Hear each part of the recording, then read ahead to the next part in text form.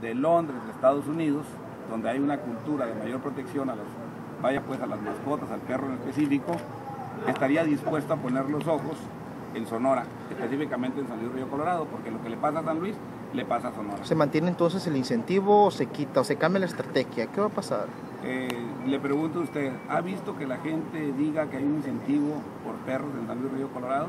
¿Se mantiene la estrategia? Le pregunto también a usted, ¿ha visto que la gente vaya a cambiar su perro por dinero a control animal en San Luis Río Colorado? Sí.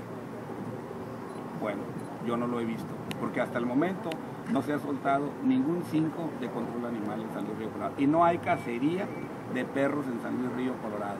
Ustedes lo saben, ustedes viven en las colonias y en todo San Luis Río Colorado.